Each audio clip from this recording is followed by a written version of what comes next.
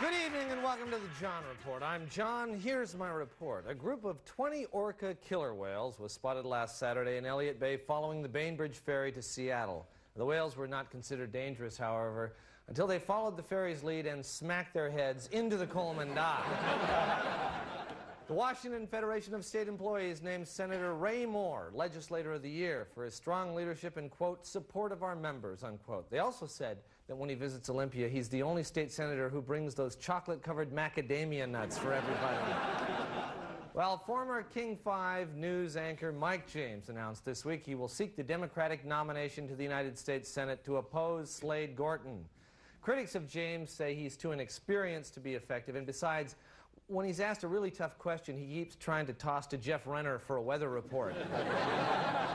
a bill has been introduced in Olympia which would tax the sale of law schools. Now, the bill would also add an automatic 15% gratuity if the law school is sold to a party of five or more.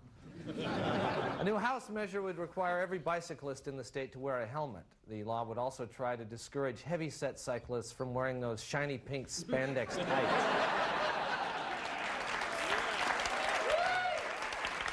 Governor, Governor Mike Lowry admitted this week that he's never had a latte, has no idea how to order one, he doesn't even know how to correctly pronounce the word.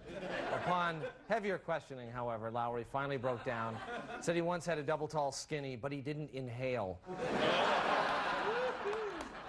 A California entrepreneur wants to haul water from Washington to California in huge water balloons. Once in California, the balloons will be put into a giant slingshot and launched at Arizona.